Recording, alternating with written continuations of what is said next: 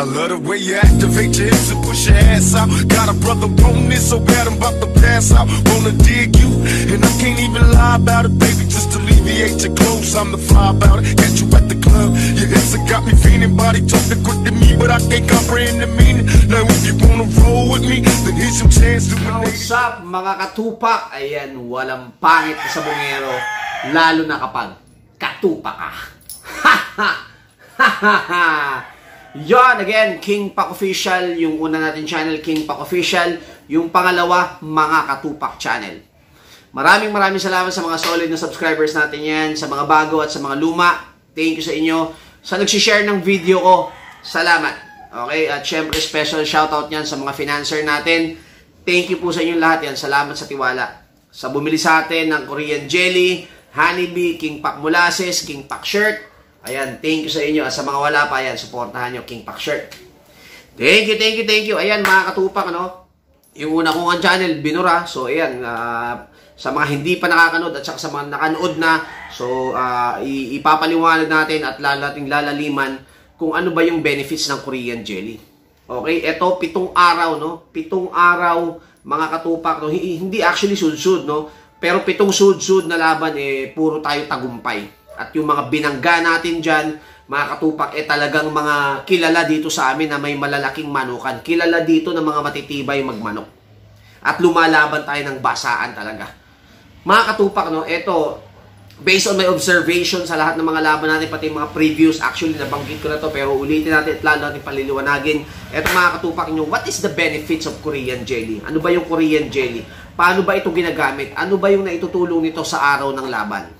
Ayan mga katupak, sa mga bago at sa mga luma, ayan, uh, Korean jelly natin, ito po yung ginagamit natin sa conditioning, okay? Ayan, karamihang buyer ko nito mga Visayas in Mindanao, kasi yung iba, may mabibilahan kayo nito sa Mercury, yung iba naman sa Generica, pero karamihan kasi ng uh, sa Mindanao and Cebu or Visayas, walang available. So kaya ako, uh, nagbibenta ako nito para maka-avail din sila. Eto mga katupak, no? Uh, yung Korean jelly, binibigay po natin to twice a week. Tuesday and Friday. Okay? Tuesday and Friday po natin to ibinibigay sa ating uh, manok na naka-precon or kinukondisyon. Okay? Ibig sabihin, kung linggo ang laban, biyernes mo ibibigay ito sa hapon. Okay? Yung mga vitamins na binibigay natin, hapon po natin binibigay yan. 6pm after nila kumain. Okay? Ito po yung Korean jelly natin. Mga katupak, no, ang Korean jelly, nakakatulong po ito na uh, maiwasan mong mag ano ka mag uh, pulikatin no? Ibig sabihin meron itong sangkap na nakakatulong para malabanan mo yung fatigue.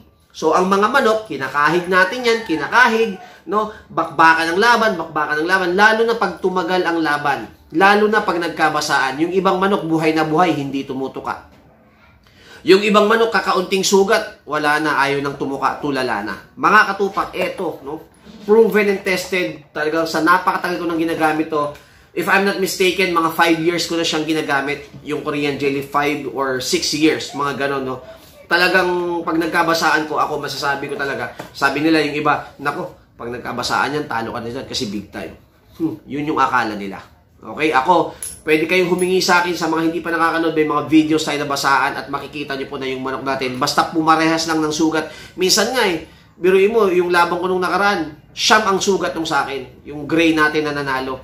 Yung kalaban natin na binaba ay apat lang ang sugat. Pero yung manok pa natin yung nanalo. Akala ko tatalunin ako kasi tadtad talaga ng tama. Ito po yan. Nakakatulong po ito para yung manok mo ay eh, ma-endure. Tumagal sa basaan, lumaban, tumuka pa rin. Kahit nang hihina na tumuto. Hanggat may hininga, mga katupak, hanggat may hininga, tutuka at tutukaan manok mo pag meron ka nitong Korean jelly na ginagamit ko. Proven and tested po ito. No? Nakakatulong din ito para maging alert yung manok mo. meron tayong gigiri-giri ano. Akala nila tatry do rin yung manok natin. Pero pagpasok, yabit kagad yung kalaban. Grabe, talagang yung performance ito talagang tested. Matalo man tayo sa sabi ng mga katupak. Ano, bakit? Pag ginamit mo, well, sure win na. Wala pong sure win sa larangan ng sabong. Pero merong nakakalamang. Pag meron ka nito, lamang ka na. Yun lang yung masasabi ko. Iba po yung sure win. Walang ganun. Pag may nagsalita sa inyong vlogger na sure win, kalokohan yun. Take it from me. Kalokohan yun. Yun yung tinatawag na too good to be true. Masyadong malabong mangyari. Malabong mangyari sa sabaw pa, malabong pa sa sabaw ng pusit. Okay? Ito kasi, pag nagkukwento tayo, pag may binabahagi tayo, dapat tested. Paano mo masasabing tested? Maglaban ka. Lahat ng ginagawa at lahat ng sinishare ng isang vlogger, kung hindi ka naglalaban ng manok, wala pong kwenta yan. Real talk po yan. Bakit? Eto eh, ang basihan na totoo yung sinasabi mo, proven. Maglaban ka ng manok. Ipakita mong nananalo talaga, hindi yung nagkukwento ka lang, wala ka ng laban. May laban isa sa isang taon. Paano masasabing proven and tested yung conditioning mo? Okay? Maglaban po tayo. Pakita natin doon sa mga viewers natin na talagang walk the talk. No, before you talk, you do it first. Hindi lang tayo nagkukwento, lumalaban talaga tayo. Ayan, mga katupak, sa hindi pa nakakanood at sa mga makakanood nito, gusto nyong makakita ng basaan na laban natin, pwede ko kayo sendan. May tupada, may sabungan. At yung sud-sud natin na panalo, mga katupak, no? Iba yung galawan ng manok. Iba yung performance ng manok. Iba yung lakas ng manok. Kaya sabi ko, pag nagkabasaan naman ka na. Tapos sasamahan mo pa ng honeybee. Ayan, King Pack Honeybee. Sasamahan mo pa nito sasamahan mo pa ng molasses. Eh po, paubos na yung ginagamit ko. King Pack Pure Molasses. Sasamahan mo pa niyan. Tapos meron ka pang Vitamin Pro. Meron ka pang Yakult. Meron ka pang Malunggay. Ako ngayon, sumasalpak-salpak ako ngayon ng Selectrogen. Mga katupak, no? Ang performance, ang alertness, yung mga panalo natin parang walang hirap. Kung meron mang hirap, talagang normal naman yun. Tadtad ng sugat eh. Pero tinatawid yung laban ipinapanalo yung laban. Ayan, hindi lang naman tayo. Baka sabihin kasi, eh, ikaw lang naman nagpapanalo niyan. Yung mga buyer ko, yan, yung bumibili po sa akin ng manok, i-deliver ko ng Sabado, diretso laban ng Linggo.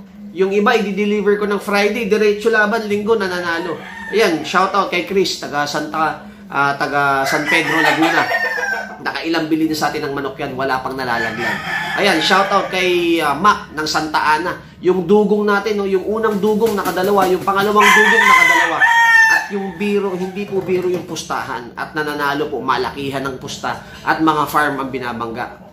Mga double wing band, triple wing band ang nakakalaban. Etong huling dugong nilaban sa Pasay na naman nanalo. Hindi man lang nakaporma. Tapos yung naunahan pa, nangingisay-ngisay kinikiskis ng kinikiskis si Dugong. Pagkaryo yung sa kanila ang namatay. Yun po yung winning line. Yun po yung conditioning. Sama-sama lahat yan. Pag nagkadatingan ng basaan, pag dumating yung panahon na magigipit ka, doon na po, doon na nakakatulong yung conditioning. Huwag kang maniwala sa swerte, malas yun. Ang mahalaga po talaga, yung i-prepare mo yung manok, bigyan mo siya, tulungan natin. Tulungan natin yung manok natin, mga katupak na manalo. At paano mo gagawin yung training, conditioning, maintenance, masarap na pagkain, iparis ng maayos, yun. Lahat po yun, mga sangkap yun, para manalo yung manok natin. At syempre, yung 5% na nawawala, para mabuo yung 100%, yun na yung lady luck, yun na yung swerte. Pero huwag kayong maniwala na puro lang swerte. Sila, sabi nila sa akin, oh, pre, maglaban ka ngayon habang buwena samantalahin mo. Hindi po. Hindi na ganun yung mindset ko. At nagpapasalamat po ako na naging vlogger ako kasi natuto ako, nung naging vlogger ako, mas nag-mature yung utak ko. Tapos nawala yung yung uh, yung galawan ko na sa gasa. Banat dito, banat doon, tira dito, tira doon. At eto mga katupak, isa pang tips ko sa inyo para manalo kayo. Lumayo kayo doon sa mga taong sagasa. Yung walang walang walang walang ibang magawa kundi maglaban ng maglaban kahit wala ng pera punta pa rin sa bungan. Kahit pambayad ng ilaw inilalaban. Wala pang sweldo isasanda yung ATM umiwas kayo doon, mga katupak. Lamang po sa talo yan. Real talk po yan. Masaktan na kayo kung gusto yung masaktan. Yan po, pinagdaanan ko na. Normal yun na pinagdaanan mo yung isang bagay na ganyan. Ang hindi po normal yung hindi ka makaalis. Alam mo nang ang ganyan, alam mo nang ang ganito, nandiyan ka pa rin hanggang ngayon. Yun na yung hindi normal. Niyakap mo na yung pagkatalo. Niyakap mo na yung pagkakamali mo. Tandaan natin yan mga katupak. Ako, I'm sharing this to you kasi gusto ko maiwasan nyo o kung hindi nyo man maiwasan, umalis kayo kung nasaan kayo ngayon. Bakit? Diyan po ako galing dati. Real talk yan. Kaya nga sabi ko, the best teacher pala is your experience. That is the best teacher. Yung experience mo. At the same time, dapat makita mo yung pagkakamali mo. Kasi pag nalaman mo, naisip mo na, ay mali ako. Tapos, ginawa mo yung ganito, lalo ka pang gagaling. Binago mo. Kasi nalaman mong mali ka ginawa mo pa rin ulit. Nalaman mong mali ka, ginawa mo pa rin ulit. So, bali, wala lang na nalaman mo siya. Nalaman mong mali ka, itama mo yung pagkakamali mo. At wala pong iba pupuntahan yan, tagumpay. Real talk yan mga katupak. Ano? Hindi po ko yung nagpapastor-pastor dito, nagpapari-pari. Sinishare ko sa inyo to kasi galing po ako dyan at umalis ako sa ganyang sitwasyon. At ngayon, kahit papano, no, masasabi ko naman na lamang naman talaga tayo sa panalo. Umi-straight tayo ng panalo, umi-straight tayo, naka, nakapitong straight na tayo nung nakaraan, dalawang beses tayong dikit na natalo, pero nakabawi ka agad. Okay, yan mga katupak, no? Bet, grabe. Ako talaga, all I can say, this is the best. Korean jelly, two days, so pag linggo, Friday, susubo. Proven and tested. Alert ang manok. Matibay sa basaan. Ito mga katupak, anti-stress. No? yung brain ng manok mo, mabilis silang mag-isip. At uh, ito po, eh, pangontra sa fatigue.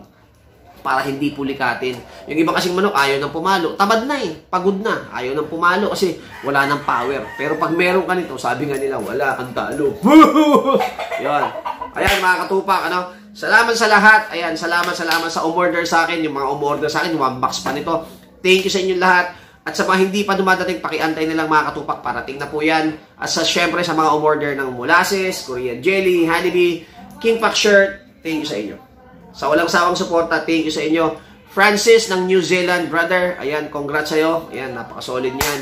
Subscriber natin, uh, financer natin, Jose, Jose Mendoza. Ayan, Jose Mendoza. Ayan, Jiggy Busarang, yan mga tropa natin. At yung sa iba na nagpapa-shoutout pa isa-isa, no? Pasensya na kayo mga katupak, hindi ko po maisa-isa yan sobrang dami, no? Sa isang araw, may nag-chat sa atin, mga 400 to 500 chats.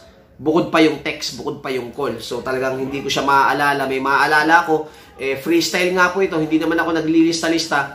So, yun. Kung sino lang maisip ko at maalala ko, yan siya. Pero salamat. Salamat sa sumusuporta. Salamat po sa inyong lahat.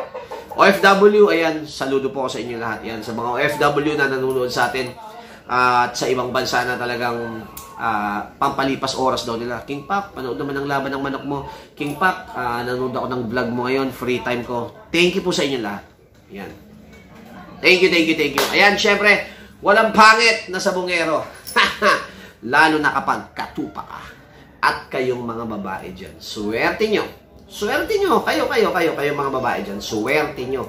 Kami na lang, kami, kaming mga katupak na lang ang nag-iisang tunay, tapat, at wagas ang aming pag-ibig. Mga katupak lang yan.